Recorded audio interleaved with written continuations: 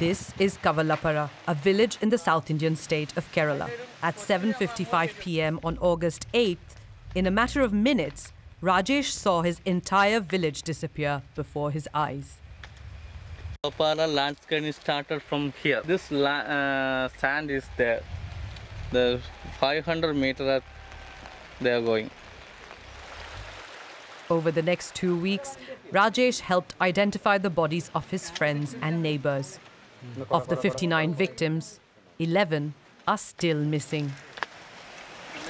Uh, this is Vishnu's house, the military person, one Vishnu. Vishnu and eight uh, family uh, died in here. All persons are crying. When I speak one person, they are cried. These villagers are live like a one family. Uh, uh, in um, I think that my family member is died.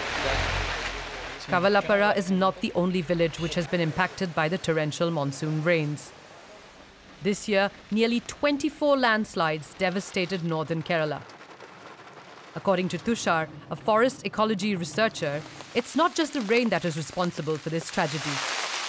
We are in one of those uh, 21 quarries in Kavalappara. Around 10 kilometers there are there are 21 quarries. We are we are doing uh, mining activities there. Because of that, uh, we, we know that uh, there are there ma- there were many trees in this area and they hold many soil. At that time, when the uh, these trees are fell off, at that time this uh, root have no more. Uh, they can't hold the soil.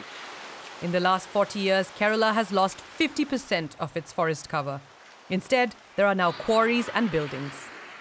In 2011, a panel of experts led by Velayudan Sajeev warned the government about the fragility of this region.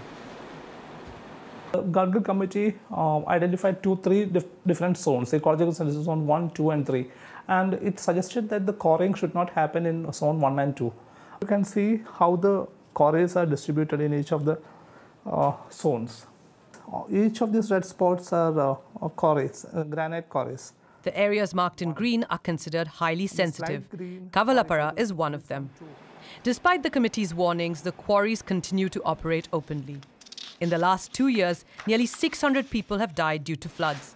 One third of them have died in landslides alone. only thing which we can do against um, global climate change is to make our local habitats extremely healthy.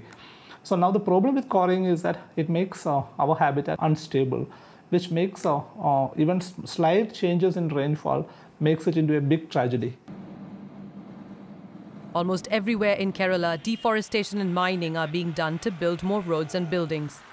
It's not just mountains that have been destroyed. Riverbeds too are being mined for sand, a crucial ingredient to make concrete. In southern Kerala, nearly 75% of the sand mining is controlled by the local mafia. Rajmohan has spent 10 years investigating and exposing them. Let me show you what the original riverbed used to look like. You see over there where the boat is? The Neyyar River was like that, not very wide. Now look, it's been widened to a full kilometer. 30 years ago, this riverbed was home to an entire village. All over Kerala, we have to fight this so called sand mafia. It's because of them and their illegal extractions that we're facing all these disasters, these landslides and floods. Here, the resistance against the sand mafia was led by an 87 year old woman, the last person to leave this village.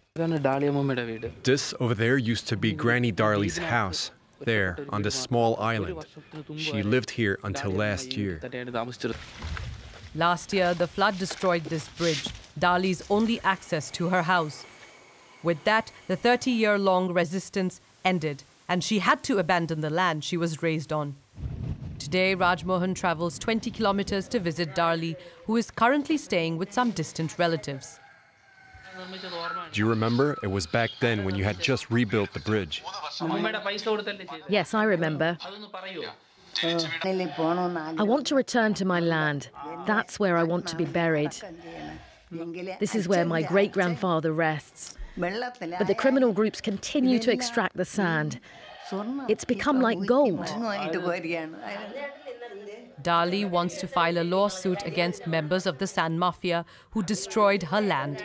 But they control nearly 400 rivers in India and are growing more powerful each day.